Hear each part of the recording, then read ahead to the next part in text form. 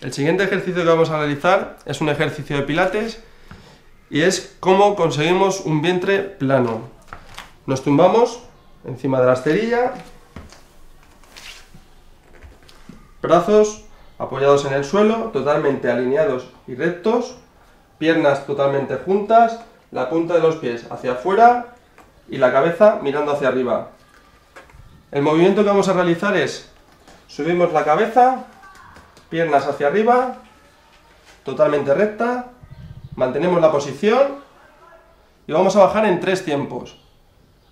Bajamos en un tiempo, bajamos en dos, bajamos en tres. Subimos, bajamos en uno, bajamos en dos y bajamos en tres. A la hora que estamos bajando, encogemos la zona abdominal, ¿vale? diafragmática, y estamos cogiendo la respiración. Bajamos en un tiempo, bajamos en dos tiempos, bajamos en tres tiempos. Subimos. Este movimiento debemos realizarlo en dos series de 10 repeticiones. Bajamos en un tiempo, bajamos en dos tiempos, bajamos en tres tiempos.